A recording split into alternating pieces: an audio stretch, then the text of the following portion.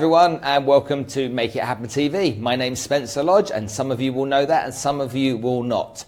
But I'm here today to try and teach you as much as I possibly can in the next few minutes about referrals. Okay, for me, a very important word, something in the world of sales that so many people forget about. But I believe it's one of the most important things that you can get, obtain, and earn so that enabling you then to go ahead and build your business, build your business, build your business a lot of people in the world of sales don't realize the importance of it. And even if they do, sadly, a lot of the time, can you sort my computer out, Emma?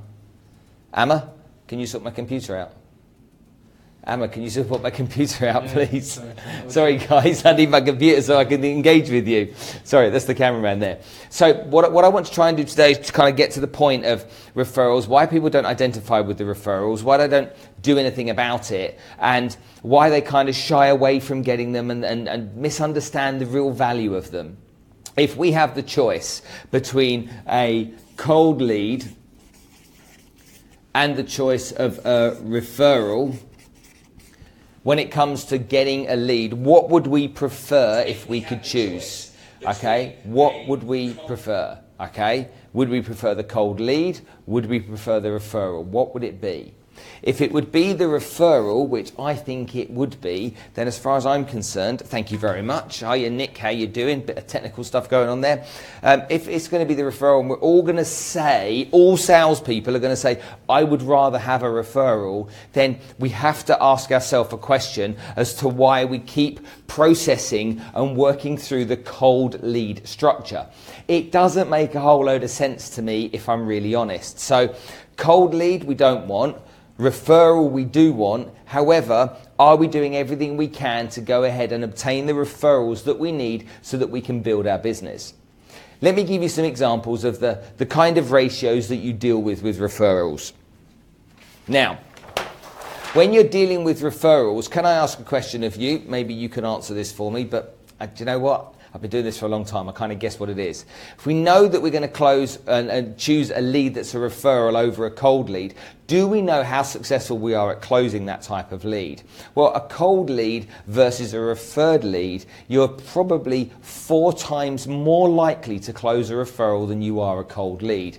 Now, some of you will say, oh, I do really well with cold leads. Great, fair enough. For those of you that say you do, that's fair enough. But if you do really well with cold leads, imagine what you do with warm leads, referrals. So when we think about it, okay, the cold lead, okay, against the referred lead, what are we going to get, okay? If we were to make, okay, five cold calls, how lucky would we get or how successful would we be at turning five cold calls into a, maybe an appointment, a meeting that you're trying to sell some, somebody to a potential customer or prospect? Five cold calls, maybe make one appointment, if you were to call five referrals, now what do you think would happen? Call five referrals, maybe three, maybe four meetings would come from calling five referrals. So why would we ever, ever choose to go down the cold lead route? Now, why do people not get the referrals that they need to get? Well, the number one reason that salespeople don't get referrals is the number one reason, okay? Earned the referral. If we don't feel that we've earned it, then we feel afraid to ask for it. So it's really important that we position it so that referrals are part of the sales process. You can't just wait for somebody to offer you referrals. You've got to build in the process how you get referrals from every single person you see. Now think about it. You've got a cold lead, you go and see them and you ask for referrals. That's one option. Or you have a referral that you've been to see and then you ask the referral, okay, the person you were referred to, to refer you to somebody else. What do you think is going to be the easiest thing to do? Get the cold lead to refer you to somebody or get the referred lead to refer you to someone? Well, I know what the answer is, and I'm sure you do out there too. We want to get the referred lead to refer us. Okay? If the referred lead can refer us, we'll feel more confident, okay, feeling, okay, that we can go ahead and ask for that kind of lead. Now, if we don't feel we've earned it, then you've got to ask yourself a question. Do you feel that what you do and what you offer and what you deliver for your customers adds value? If you feel it adds value and you do something that's really valuable for your prospective client, then guess what? You won't have the feeling of not earning it. If you don't feel you're adding value and you're just asking for referrals for the sake of referrals, okay, then there's going to be an issue that happens between you and your prospective client where it might come a little bit uncomfortable, or your existing client might become a little bit uncomfortable and it might make the situation not quite as smooth and as silky as it has been all the way through while you've been looking after that person. So, what does that come down to? Maybe belief in the products and the service that you offer. Do you truly believe in what you sell? Do you really believe that the products are really good products? Okay, do you? I'm not sure. If you don't really believe in your products and you're just selling them because it's a way of making money, then my advice would be not to do that. Either fall in love with those products, get those products in your mind as being great products and convince yourself that they really are valuable, or I'd find something else to sell that matters to you, that you believe in, and you can get behind yourself emotionally. One sec, let's just say hello to everyone. Hi, Brad. Hi, Warren. How are you guys? Come and say hi. Okay, I can't see everything with my glasses on. Um, Nabin, how are you doing? Rob, how are you doing? So, what I want you to get in your mind is to really understand this situation. Okay, when it comes to referrals, okay, do we believe in our product and service so we know we're adding value, or are we just selling something because we want to make money? If you're selling something because you just want to make money, then my advice would be get out of doing that and get into something you truly believe in. So I come from a world of uh, financial advice and wealth management. That's my background and my history. I truly believed that selling somebody a retirement planning product was going to help secure their financial future. I truly believed that selling somebody life insurance was going to protect them against an eventuality that may happen in the way critical illness, a will, okay? Making sure that the money was invested and working harder than it would work at the bank. All of these types of things I truly believe in now, and I've truly believed in since I was 22 years old. I really believe that these things add value to people's lives. And if I can help people stop making financial mess ups along the way and do a service to them and help them get their money working for them and help them financially plan, then I feel I'm adding a lot of value to that potential client and that existing client. If I'm adding value to that client, then guess what? It's my right to be able to ask for referrals if I've earned them. Okay? So, have you earned them or not? Do you believe in what you're doing? That's the one thing you've got to consider, okay? Now, let's say, just imagine we think that we do ask for referrals, but guess what? We don't get any. We ask for referrals, we've had somebody say to us no, or some other objections you might hear. And guys, you can add, come on, Warren, give me one of the objections you've got. Rob, give me an objection you get from a prospect. What actually happens? Well, what actually happens is, in a situation where there's a meeting between two people, the person with the most certainty generally is the person that influences the other person the most. However, if that prospect says to you, Can I think about it before I give you any introductions or any referrals? then it puts you on a back foot. If they say they don't like to give referrals out, they want to speak to the potential referee, okay, before they give any details out, then what actually happens is it puts you on the back foot and you think, oh my God, how am I going to chase this? Well, when you're selling something to somebody, whatever that may be, remember that you've got two sales that are taking place. Number one is the product, okay? Uh, and the service that you sell, whether it's product or service, sorry, or service, okay, product or service, and the other one is the sale on you, okay, and introductions or referrals.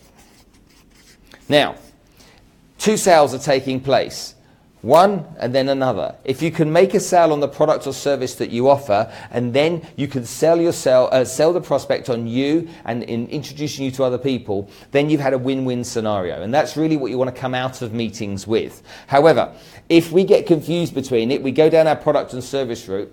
I believe the reason that people don't like to refer um, other people to that potential salesperson is there's an issue, and the issue generally, in my opinion, is based around trust. If people don't trust you, no matter what you think they might have decided along here, if they don't trust you, they're not going to recommend you, they're not going to refer you to others. If they do trust you, then they're very likely to do it. So, an objection that comes out based around trust is let me think about it. That's exactly what happens. Let me think about it. Hold on, I've got some more coming through here.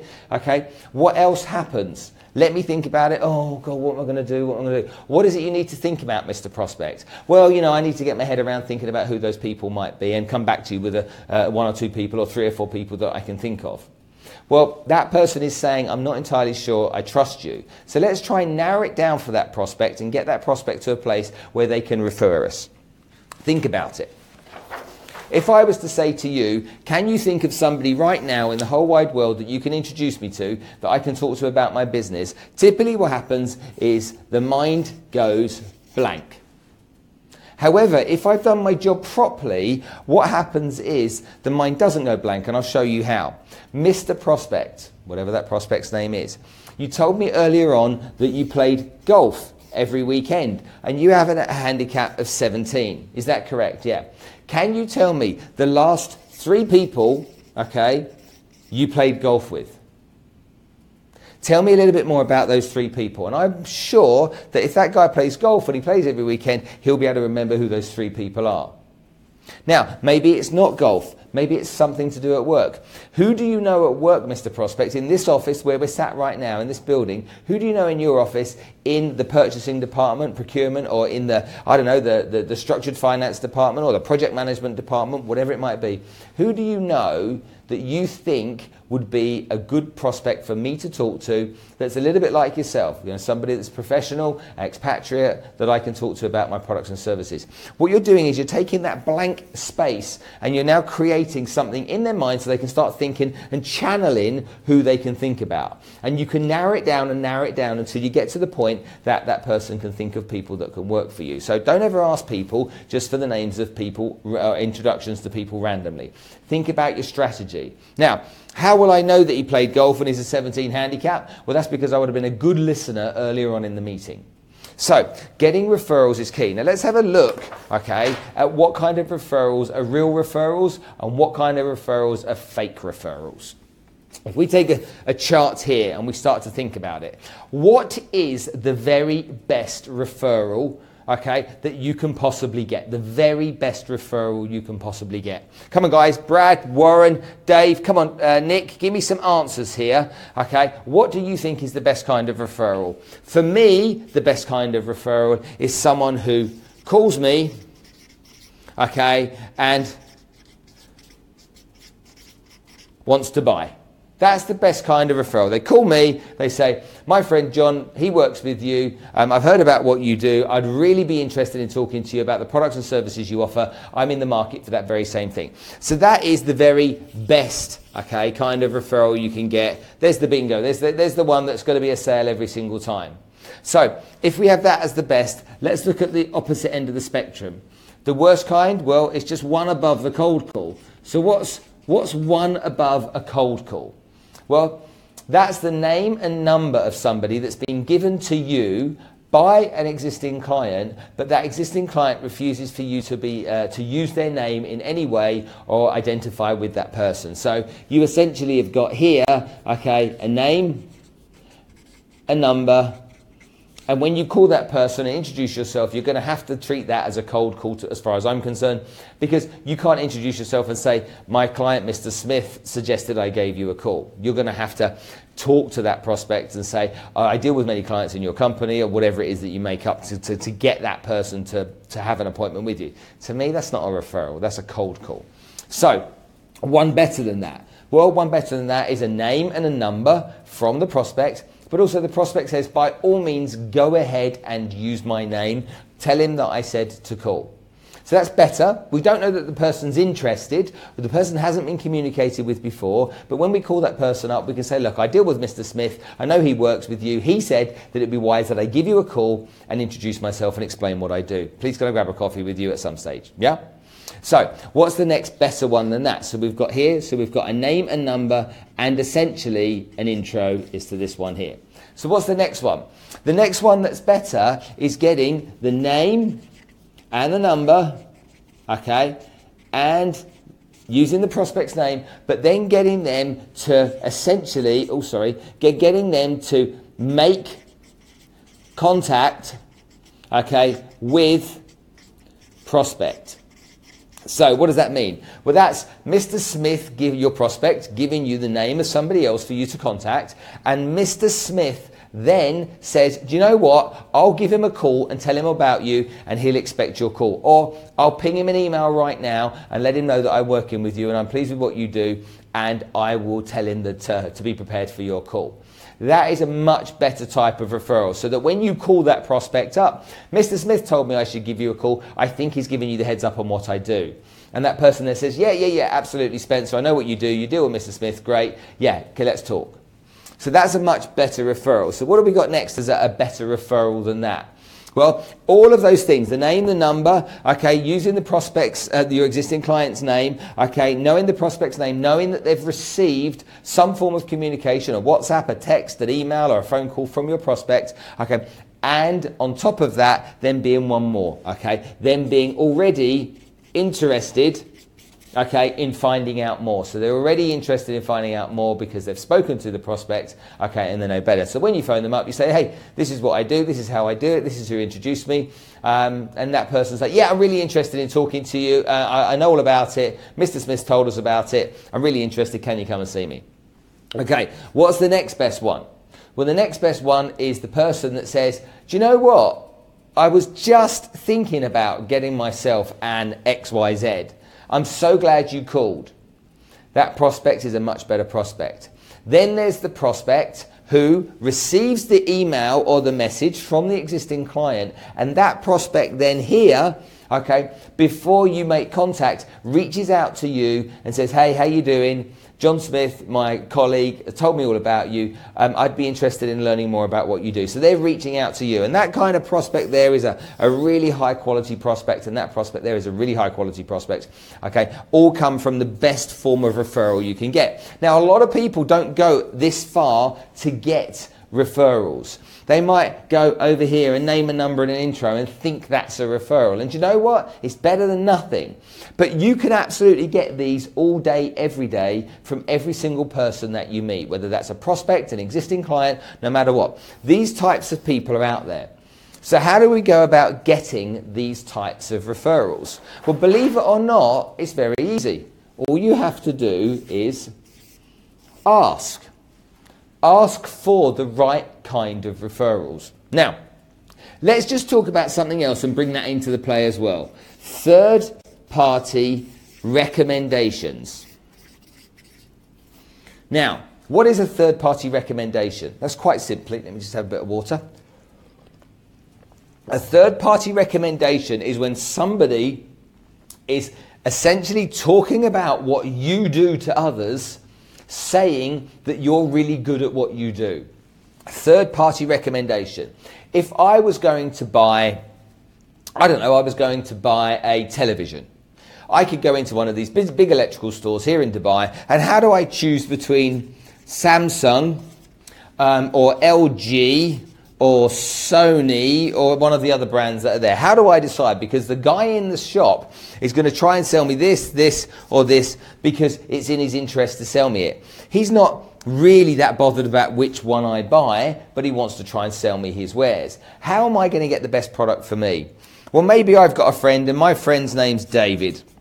And David, okay, says to me, You really want to go and buy that Samsung. That's the bee's knees. That's the best TV on the market. You want to get that. If David says that to me, am I likely to buy the Samsung, the LG, or the Sony?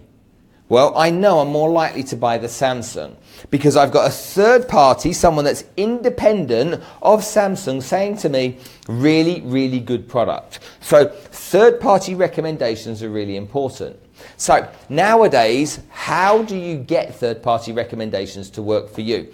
Well, the best way they can possibly work for you is by getting video, okay? People that are independent of you, that are prepared to produce a video talking about how good your products and service are, okay, is going to be very powerful when it comes to closing business. So, is it possible that from all of your existing clients, you can get those clients to do a one minute, two minute video talking about how good you are at what you do and how pleased they are with what you've delivered. Now, I don't know this for sure, but I know this is possible. I don't know whether you can do it, but I know I can do it. And if I can do it, guess what?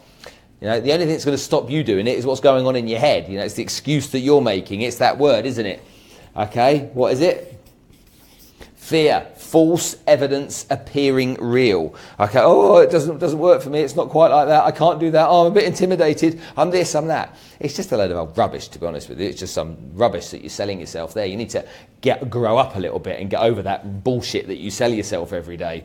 So get your fear and park your fear. Get focused on asking. If you've got 50 clients, and from those 50 clients, you then okay, ask each one of those to produce a video for you, and those 50 clients, only five are prepared to do it, how good would it be to have five video testimonials from your existing clients that your prospective clients can see either before they meet you, after they meet you, or before they do business, or after they do business? Do you think those five video testimonials are going to be valuable? Hell yeah, they're going to be really valuable. And if five will give you one, uh, uh sorry, 50 clients will give you five, then you can bet your bottom dollar if you were to build into your sales process, if I do a really good job for you, Mr. Mr. Prospect, if I deliver all the things I'm going to deliver and I help you get whatever it is you're selling to them, would it be possible that you produced a one minute video for me? Don't worry, I'll come and film it in your office. A one minute video for me explaining to my prospective clients what you think about the service that I offer and the product deliverables that I have. You'll be amazed the amount of people that are prepared to do it for you. You really will be. But don't have it makes it harder to sell because if I'm trying to convince someone that what I'm doing is the right thing and what I'm doing is going to help them, they've only got me convincing them and they may think I've got an ulterior motive. But if other people are saying Spencer's really good, he delivers this, he delivers that, his service is amazing, then guess what? They're going to have so much more faith that I can deliver that for them. They're going to have so much more belief because they know other people think the way they want to think, but they don't know yet. Make sense? So let's think long and hard about what we can do about producing video. Can you produce video? Well, guess what? You can. You can produce video on a phone. You don't need anything else. They've got a camera on it. You buy a tripod, buy a phone, stick the, the camera, oh, stick the phone on the tripod. The tri- I mean, a little one of those Gorilla Pod bendy ones, you know.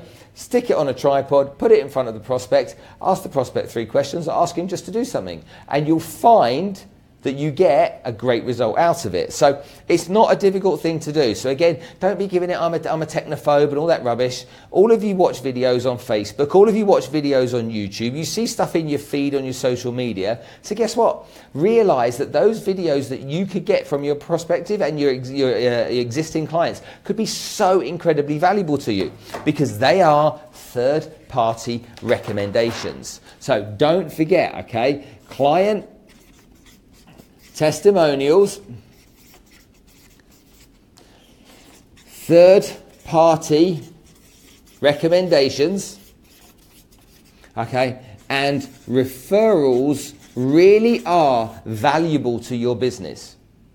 If you could get, okay, referrals, if you could get 20 referrals per week for your business, based upon your current closing ratios, how many deals do you think you might do on the back of 20 referrals? 20 referrals is four referrals a day. That's two in the morning and two in the afternoon. That's one referral every three hours, four hours, depending how many hours you work. That's how many it is. We work long hours. We're salespeople, yeah? We put the, put the, the effort in. We uh, pace the streets. We do our job. Two referrals in the morning and two referrals in the afternoon would get you 20 referrals a week. It's that easy. Two in the morning and two in the afternoon. I know. And for those of you out there that are going, well, it's easier said than done, Spence. It isn't easier said than done. It's actually easier done. Because if you do it, you'll get a result out of it. And think about what the benefit would be. If you were to go out to your clients, okay, and you were to get 20 referrals. Let's say you've got 20 clients, you get one referral from each client. Think about what would happen. Think about how those numbers would pan out. So, if we took week one, and in week one we got 20 referrals, and out of those 20 referrals, let's say, even more cautious than ever, let's say from those 20 referrals, we got 10 meetings with prospects, either Skype, face to face, telephone meetings, whatever. We got 10 meetings with prospects. 10 meetings with prospects. And then we decided from those 10 meetings, we were going to make sure we got three referrals from each of those meetings. That would mean in week two, we would have 30 referrals. But let's not even go there. Let's be even more cautious. Let's say 2.5. Okay? And we got 25 referrals. Is 25 referrals going to mean you see more meetings? Yes, it is. Does it mean you're going to get more referrals? Yes, it does. Does it mean that you're going to have more opportunity to make more sales and take more clients on and add more value and be more valuable for people? Yes, it does. I have gone from a world myself where we started before the internet existed. We knocked on doors and we made cold calls, and that's how the world worked back in the late 80s. And we've gone through this evolution of the internet and social media where people are now trying to use social media to justify or create all of their leads. Well, you know what? That's okay. But imagine if you were to get referrals from everyone that you sat with. You got referred to more people every single time. All that would happen is in week three, four, five, six, and seven, you would end up inundated with referrals 30, 35, 40, 45. You would have more referrals than you would know what to do with. And if you close, okay, um, cold, you close five in cold calls or five cold leads to one deal, okay, but with referrals, five equaled three, you've got a 300% increase over cold calling just doing that. And I know your ratios might be different and you might say, okay, that's good, that's good advice, but you know what, that's not exactly how it works for me get out of your head a little bit and get into thinking about how it applies to business development. We all want to see warm leads. We all would prefer referrals. We all would prefer brilliant referrals. We would like to get more referrals than we know what to do with because guess what? Every meeting with a referred prospect is going to be a sale. A referred prospect is going to be a sale. A cold prospect, I don't even call it a prospect, I call it a suspect. So think about these types of things. Write down the objections that you get every day when you ask for referrals. Write them down. Okay, think about what those objections are. Does that person not trust you? If they don't trust you, then have you added enough value? If you haven't added enough value, then they're not going to refer you to other people. If you've added loads of value, then you have earned the right to ask for referrals. If you know that referrals are going to give you a way bigger result than no referrals, then come on, this is easy. It's such a no brainer strategy you wouldn't believe. It's so incredibly simple you couldn't believe. But for all of you out there that have the fear of, oh, what if it goes wrong? Okay, this is some of your fears. I'll tell you one of them. Um, I will ask, okay, for referrals only after, okay, the prospect becomes a client. Now, because when he's a client, he's decided to buy. When he's a prospect, I could lose the deal. And I get that. But what's more valuable to you? The prospect, oh, prospect, What's more valuable? The prospect, okay, or referrals? Because to me, the prospect equals one deal. Referrals equals so much more. So what is more valuable? To me, referrals. You give me referrals. I don't mind if I lose a deal here and there because a prospect is being a difficult prospect. Okay. But if I get referrals, then that's going to help keep my business growing, business thriving, create revenue for my business, which is really important. Referrals are going to make it easier to make appointments, easier to close deals, and I'm going to get a lot better business from that. So to me, it's quite simple. Let's just have a look at the screen and see if anybody's got any comments they want to make. Okay, who have we got here? Hi, James, how are you? Hi, Brad. Alex, how are you? John Paul, Petra, how are you? Kieran. Um, if he was the CEO, then a walk around face to face intro to his or her executives under them. Yeah, absolutely. Okay, just because you know nothing about them. Yeah, exactly. So let's think. If you've got any questions, then please ask a question. I'll be glad to answer any questions that you've got. If you've got a question, please, please ask. I know some of you will be sitting there seething. Some of you will be sitting there blaming. Some of you will sit there projecting. Okay, rather than going, yeah, Spencer's right, you're got to find a reason, an excuse, some form of way of trying to justify to yourself why you don't get them and how it's okay for others or it's okay for him. Okay, that's just a really bad attitude to have. If you don't get referrals, then you've got to ask for them. Okay, it's really important that you do. Now, there are different ways that you can ask for referrals. There are five referral pitches, okay, that you can ask and use your, with your prospect. Now, referral pitch number one. How about asking for someone's help? Mr. Prospect, I could really do with your help. I'm really keen to grow my business. I don't want to work in the cold calling route, um, and I like to work on a personal recommendation basis. I know that you do not know me very long, but if I do a good job for you today, would you please help me grow my business and introduce me to three or four people that you know that I don't know that maybe I could add some value to too? So ask for help. It's very, very easy to ask for help. Okay, what other referral pitches have you heard and can you think about? Well, let's have a comparison. Okay, what do they get if they have a comparison? So you draw two boxes. Mr. Prospect, you can go straight to the manufacturer and the manufacturer will give you these things. If you come with me, Mr. Prospect, you'll get these same things too. However, on top of it, you will get me. Okay, my support, my advice, my backup, my hand holding, my guidance, and my experience all the way. So you can go direct to a manufacturer or you can come through me. If you come through me, it won't cost you any more. You won't spend any more money. The only thing that you're going to have to do for me, if you want to work with me, okay, is to introduce me to other people that you know that could benefit from this scenario too. Now, I know that you work with a couple of other people in this office. Please, can you tell me who you know that would benefit from working with me that's sitting at the end of the corridor in that office, or who's that guy over there? Whatever it is that you're doing. So, and that's really powerful. So it's a comparison. Go to the manufacturer, come to me, get me on top of it. Can I have some referrals, please? Okay, really, really important. What other ways are there of getting referrals?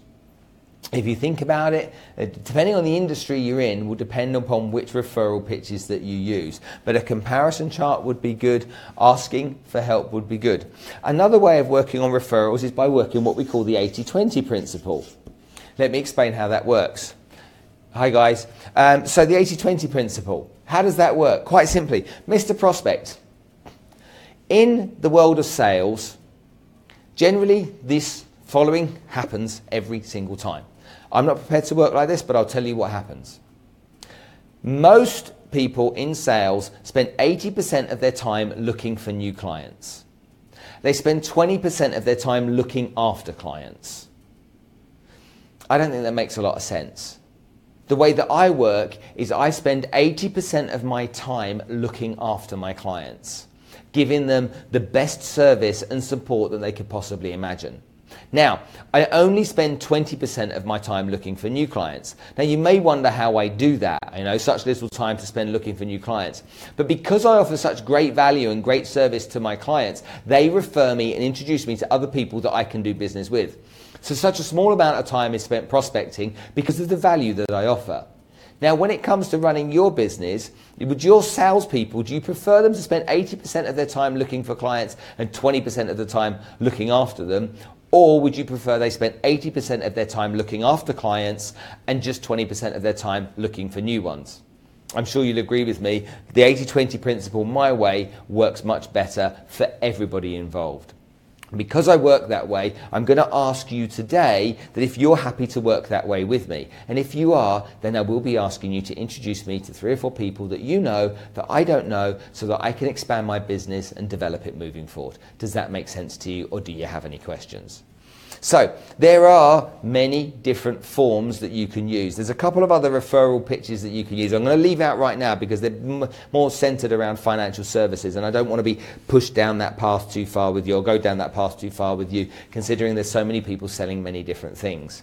So if you were just to use these three approaches, then you would get more referrals every single time because you're giving reasonable argument, reasonable logic as to why you would like them to introduce you. Now, they could say no. Just think about this. They could say no. But guess what? Where does that leave you? Does it leave you further behind or just in the same place you were before you asked? You tell me. Okay, hopefully this has been helpful. I'm going to do some more educational stuff with you over the course of the oncoming weeks. I've got some really interesting people to interview as well. Okay, um, uh, Joe Bruce is going to be with me again on Monday for a live. So if you want to join us on Monday for a live, it's good. He's a behavioural psychologist. He's a really awesome guy. Okay, and I'm going to have a real good chat with Joe. On Wednesday of next week, I've got Iman Oubou. Now, you may not know who she is, but she is a little superstar. Iman set up a company called SWAAY Media in New York, and she's built it to be a really successful media company with over 500,000 unique hits every single month going to SWAAY Media. That's S W A A Y dot com. Okay, look up Iman. She's a, a really super successful entrepreneurial lady, and she'll be bringing her business over here to the Middle East, I think, fairly soon, so expose it over here. But I know she's here next next week, and I've stolen her to get her to be interviewed by me. On top of that, some other uh, celebrities that we've got. Who have I got? I've got Dwight Yorke's coming, uh, Mikhail coming, Sam Sunderland's coming over the course of the oncoming weeks. So we've got various people out there, other business leaders, entrepreneurs that have become successful. And I'm going to be interviewing some out and out salespeople as well to understand what makes them tick, what motivates them. So look out for that and you'll be able to learn what I'm doing. Okay, obviously I'll be updating you through social media, but I'll be, I'll be interviewing people. And I'd like you to do me a favor and send me questions that that you've got. Email and private message them to me. Questions you've got for any of those people, and I'll be only too glad to help. Okay, that's all from me right now, guys. I'll just have a quick look on here and see if anybody's got any questions for me. Um, no, I think we're all there. So for those of you, oh, I have, hold on a minute. Really great stuff, Brad. Da, da, da, Valuable info, mate. I've joined today's live session. Too little, too late. I'll watch again. No worries, Warren. I'll catch up again with you soon. So, guys, please, please, please, can you do me a favor? When you finish watching this, can you share this video with your audience, please? Can you share it on your social media page so other people can get a chance to see it? I'd really appreciate that. If you go to YouTube and like and subscribe, I'd really appreciate that as well. It's really important to me that you do so. I hope you're getting some benefit from what I do. And if I can improve what I do in any way, then please let me know. I'll only be too glad to help. Okay, that's it for now. I'll catch up again with you soon. And don't forget to do what I tell you to do every single time. And that's to get out there and make it happen.